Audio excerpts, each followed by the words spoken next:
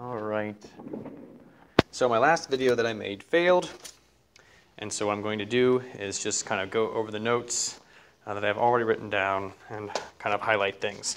I'll give you um, times to kind of pause and the video and so that way you can like kind of do the problem on your own when I think you should do it on your own and then you can restart the video and kind of proceed from there as I explain through things. Okay? And of course at any time you can pause on your own and then just um, um, you know try it on try it for yourself and then go back and see what I talked about. Okay. So um, if you remember um, from yesterday, we had started to talk about the definition of the derivative and kind of get into calculus, right? And so we kind of um, went through a bunch of different things here. Let's see if I can get to find starting point. Okay, so we started with the idea of trying to figure out how to solve the tangent line problem. That is how to come up with a um, way to calculate the slope of a line that is tangent to a function, right? Um, we started with the idea of trying to find the slope of a secant line. Okay, so a secant line is a line that intersects a function at two places, all right? And so it's easy to find the slope of a function when you have two points like this, or slope of a line when you have two points like this. You just use the slope formula, right? y2 minus y1 over x2 minus x1. Of course, though, and that would yield the average rate of change. Okay? Of course, then, how can we use this idea to help us then uh, come up with the slope of a tangent line? That is the slope of a line at a single point, right, of a single point of our function here. Well, with the way that we had set things up yesterday, remember we kind of like tried to squeeze that delta x down and down and down and down until it approached zero, so that this point would be drawn, drawn closer and closer and closer and closer, and the secant line would then get closer and closer and closer to approximating the tangent line slope. Okay, and we did that using limits and then combining that together with the definition of the derivative to create the definition for the derivative of a function, or in other words, the tangent slope of a function, or just the slope of a function, or also the instantaneous rate of change. Okay, and then we showed how it worked for a couple of things, right? For example, for a line, right, we know the slope of a line is 3, and of course, when we actually do the definition of the derivative to get the slope of the line using calculus, we end up with 3 as well. No surprise there right? Then for a function that's curved like this, we can see that the slope is not the same everywhere, right? Here we would expect negative slopes. Here at the very bottom, we'd expect a slope of zero. Here at the to the right, we'd expect a slope of positive slopes. And in fact, that is what we see, right? At the point negative one, two, when we take the derivative of this function here, at negative one, we get negative two for our slope, okay, a negative slope there. And then at zero, we get a slope of zero. All right? Talked more about the derivative, finding the derivative of the function, okay? So not finding the derivative at a point, but instead just kind of finding the overall derivative of the function, which, and for example, for the square root of x here resulted in 1 over 2 times the square root of x. This was a generic formula that we use to describe the slope of the function f of x at any point x. And so any x value you pick along here, you can plug in and get the slope of your function. All right, so we did that, for example, at 1, 1. We found the slope at that point to be 1 half. At 4, 2, we found the slope to be 1 fourth. At 0, 0, we found it to be undefined, okay, which kind of makes some sense there because the function kind of stops abruptly at 0. We're going to talk more about that today. Then we did one more example here where we found the equation of a tangent line and another derivative and stuff. Again, just using some techniques that we had seen um, previously in this class. So starting, that catches up to here to today where we're talking about differentiability and continuity. Okay, before we jump into the differentiability and continuity, though, we're going to talk about an alternate form um, of the derivative. Okay, so an alternative to that whole f of x plus delta x minus f of x all over delta x kind of thing, or f of x plus h minus f of x all over h, or you know here we did f of t plus delta t minus f of t all over delta t. And the alternative way to find the derivative is is this form right here, where if we want to find the value of the derivative at a specific point c, we can do that by taking the limit as x approaches c of f of x minus f of c over x minus c. Subtly different, right? Subtly different from that other limit definition that we've used, but it also works. Okay, you can see it's actually just the slope formula, right? You have you know y minus y over x minus x. Okay, but again, primarily used to find the value of the derivative at a particular point. Okay, we really don't use it so much to get the value, uh, to get like the generic formula of the derivative like we did here for the previous example. Okay, so we went through that and did that for example 2. You can see here um, f of x equals x squared plus 1, and we're asked to find f prime of 1. This is just from example 2. using the alternate form here, you can kind of see how we ran through it. So we set everything up. You know, negative 1 is our c value that we want to approach. We plug that negative 1 in for the c's here and also for our limit. And then we evaluate. f of x is x squared plus 1, so there it is showing up right there. f of negative 1 is 2, okay? So x squared plus 1 minus 2 gives us x squared minus 1. The x minus 1 is from that x minus negative 1 there, becomes x plus 1. And so then we can factor and cancel here to continue simplifying, and we solve and get that negative 2 is again the slope we arrive at. Okay, so then um, some illustrations here. At this point, you should pause the video and go through um, these one, two, three, and four examples here. Graph those, okay? Graph them. All right, so I'm going to go ahead and assume that you've graphed these. We're going to kind of talk through these a little bit. In these examples, our goal is to determine the intervals in which the function is continuous and the intervals in which the functions are differentiable. Okay, so what do we mean by differentiable? We mean we are able to take or evaluate the derivative at you know any particular point, or in, or in other words, you can think, does the slope of the function exist? Okay, so looking here, for example, at 1 over x, you can see that um, the function, okay, is not continuous at 0, right? It has a vertical asymptote. And therefore, we would expect that it'll be not differentiable also at 0 because, well, if, you, if the function doesn't exist, then you won't be able to find the slope of the function at that exact point too. So here, since the function does not exist at 0, we wouldn't expect the derivative to exist either because there's, well, there's nothing there for it to, to you know, equal. There's nothing there for us to evaluate, okay? So you can't find the slope of f where f doesn't exist. Moving on here to number 2, okay, this absolute value function, this is continuous everywhere, but there is a place where it is not differentiable. Okay, and the place where that is is right here at the vertex of that um, absolute value function. Okay, if you uh, think um, one way about this, right, to the left of the vertex, all the slopes, all the derivatives along here, all the values of the derivatives at each point would be a negative 1, right, because the slope of this side is negative 1. The slope of this side is positive 1. And so at that vertex, we're suddenly switching from a slope of negative 1 to a slope of positive 1. And so, in other words, the derivative value is um, impossible to determine, right?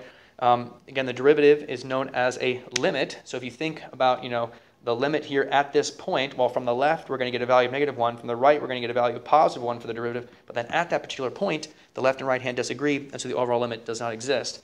And that's kind of uh, described here. The limit as x approaches 2 from the left of f prime of x is negative 1, from 2 from the right of f prime is 1. They don't agree, so the limit as x approaches 2 of f prime just does not exist. And so we would say it's not differentiable from negative infinity to 2, or sorry, it's differentiable from negative infinity to 2, union 2 to infinity. So in other words, we have to exclude x equals 2, where that vertex is. Moving on to 3, okay. Uh, this graph here of x to the 1 third, you can kind of see the graph here. And the issue here is that at 0, we're going to end up with a vertical tangent, okay. In other words, the slope will be undefined. The slope of this function is undefined at 0. Okay, again, it's continuous everywhere. No x value um, will give you any problem when you plug it in. But if we take f prime of 0, here using that alternative form of the derivative that we talked about before, you can follow through the work here and see that we result in some a limit where we can't simplify it any further, and so by direct substitution we end up with 1 over 0. In other words, the limit does not exist. It's going to be undefined. And so since the limit, um, the derivative the definition of the derivative, its limit, doesn't exist, okay, the limit definition of the derivative doesn't exist, then the function um, is not differentiable at 0. And so we exclude 0 from our differentiability. And then finally, for number 4, the piecewise function here, uh, ignore this. I made a mistake earlier. I fixed it here, though, so it looks right now. So there's our two pieces, okay, for the piecewise function. Again, it is continuous everywhere. The two pieces do join up at 1, and so it is continuous everywhere. but we again run into a similar situation to what we had with the absolute value function, where we suddenly change from a negative 1 slope to a positive 1 slope. Here, we're changing from suddenly from a negative 2 slope to then, at this point, from the right, the limit as x approaches 1 from the right of f prime of x, which is um, using the limit definition of the derivative here. I took the limit as x approaches 1 from the right, using, again, that alternate form of the derivative, um, f of x minus f of 1 over x minus 1. Okay, the function in this case, since we're approaching from the right, we want to use the bottom piece of our piecewise function, the x squared. So it's x squared minus 1 squared over x minus 1. Again, simplify, uh, factor and cancel, and you end up with 2. From the left, the derivative was giving us a slope of negative 2. From the right, the derivative is giving us a slope of 2. And so since they disagree, the limit overall does not exist. All right. So if you go back and think about this, okay, if we go back and look at this here, at first glance, it might seem like where the function is continuous, it will also be differentiable, right? Like we see right there. But it doesn't follow here, right? Just the function is continuous everywhere, but not differentiable everywhere. Same here, continuous everywhere, not differentiable everywhere. Continuous everywhere, not differentiable everywhere. So how are these things related? Well, as it turns out, if f is differentiable at a particular point, then f will also be guaranteed to be continuous at x equals c. So what does that mean? Well, these intervals of differentiability, aren't they also included in our continuity, right? This interval here of differentiability, isn't that also included within our continuity? Differentiable intervals are included in the continuous intervals. Differentiable intervals are included in the continuous intervals. So in other words, it is differentiability that decides whether something is also continuous. If a function is differentiable, then we guarantee that it will be continuous. Okay? But it's not the other way around. If a function is continuous, that does not necessarily mean it's differentiable. And again, you can see examples right here. This function is continuous, right? This function is continuous, but it's not differentiable everywhere. Okay? So in summary, if a function is differentiable at x equals c, then it is continuous at x equals c. Thus, differentiability implies continuity right? Key idea there, all right? It is possible for a function to be continuous at x equals c and not be differentiable at x equals c. Thus, continuity does not imply differentiability. And so you can see here these um, examples. Absolute value of x, piecewise functions. Those can have sudden changes in slope, right? So you want to watch out for that. Um, x to the one-third, x to the two-thirds. Their graphs can result in some vertical tangent lines. So again, keep that in mind, okay? The big idea that you want to think about is that differentiability, when you describe the differentiability, it's essentially describing the continuity of the derivative. Okay? If your derivative is discontinuous, your function, um, oh, sorry, if your derivative is continuous, then your function will also be continuous there. Okay? That's, in other words, differentiability implies continuity. Moving on. Okay, here's a little example, something that you should try. So again, graph this piecewise function on your paper, and then answer the questions below. Okay, I'm going to assume that you've already gone through and answered those questions. So here is the graph of the piecewise function. You can see there. Um, and then we'll go through some of these answers here. All the values x such that f is continuous. f is continuous everywhere except at 6, right, where we have that jump discontinuity. Everywhere else it is continuous. Okay, so just a 6 we exclude there. This right here, this is the limit definition of the derivative. That's our old version of the limit definition of the derivative. You'll notice that the x's are replaced by 1s. So in other words, we are evaluating the derivative of this function f at 1. Well, if you go to your graph here, at 1, the slope of this little line here is a 1, right? Because it's the absolute value of x graph, so it's a slope of up 1, right 1. So that's why we get 1 there. No need to evaluate anything using limit definition. Okay, you can see it's just that old version of the limit definition of the derivative, just the x's are replaced by a 1. So we're evaluating the derivative at 1. C is asking the same kind of question, but just in a different way, asking f prime of 4. What is f prime of 4? So we go to 1, 2, 3, 4. Here it is on our graph. What is the slope of the function on that graph? It's negative 1 half, right? At that interval, the slope here is all along negative 1 half. So that's why we get negative 1 half there. Then going 0 from the left and, well, sorry, then approaching 6 from the left and 6 from the right here, okay? 6 from the left is a negative 1 half slope. 6 from the right is a negative 1 half slope. So you may be tempted then to say that the derivative exists everywhere, but it does not. Okay? And here's why. All right? So find all values of x such that f is differentiable. Well, the function is not differentiable here, right? Again, it's got a point, suddenly changes from negative 1 to positive 1, the slopes do. Here, the function is also not differentiable because the slopes change from 1 to negative 1 half. So again, not at 2 either. And then finally, at 6, although the slopes from the left are negative 1 half and the slope from the right is negative 1 half, the function is still not differentiable at 6 because if a function is not continuous, then it also is not differentiable, okay? So that is just the contrapositive way of saying what we said earlier. Remember, earlier we said differentiability implies continuity. If differentiable, then continuous.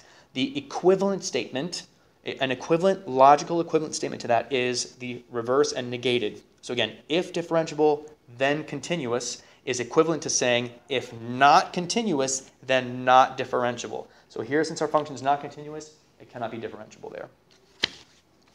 Moving on. Okay, so constant rule. Taking the derivatives now, we're going to learn some shortcuts. Okay, and I'm running short on time, so I'm going to go quickly. Um, so here, again, example one, you can see me use the limit definition of the derivative to um, find the derivative of the line of graph of function y equals 7. So here you can take a look at that. All right, so if you need to pause it, pause it and just kind of read through it, and then you can listen to what I have to say. But you can see that as we take the derivative here, we end up with a value of 0, which should make sense because what is the graph of y equals 7? It's a horizontal line. And so if we graph a horizontal line, what's the slope of any horizontal line? It's 0. So the constant rule, anytime we take the derivative of a constant, that is any number, so like 7, 10, 100, e, yes, e is a number, um, the derivative of those things is going to be 0. Okay, so in other words, the derivative of c, a constant with respect to x, is just 0. Okay, so now we have that rule. We don't need to do the limit definition. Anytime we see a number and we want to take the derivative of it, it just is going to be 0. Okay, moving on. At this point, what I would suggest you do is pause the video and then take the derivative of x cubed, x squared, and or x to the 1 half using the limit definition of the derivative. Okay, so hopefully you've done that. And then um, you can look here. I've done the x cubed one for us. We end up with 3x squared. Uh, I also uh, took, the took the answer from other students, 2x to the 1 for letter B, and the derivative um, for h of x is 1 half x to the negative 1 half when you rewrite it a little bit. Okay? Now, you'll notice a pattern here, right? x to the third becomes 3x to the 2. x to the 2, its derivative becomes 2x to the 1, and h of x, its derivative, which is x to the 1 half, becomes 1 half times x to the negative 1 half. The pattern here is that whenever you take the derivative of x raised to a power, you get um, that, that power goes out front, and then you lower the power by 1. So the derivative of x to the n is n times x to the n minus 1 power, and that's true in general. So we can use that here in a variety of problems. All right. So for example, here we have pi squared. Now pi squared, which rule does that follow? Well, it's a constant pi to the second is a number. So it will be a horizontal line when you graph it, and it, when you take its derivative, then it will be 0. Okay? Here, cube root of t, you want to rewrite that as t to the 1 third, and I will pause this video and add on to it um, later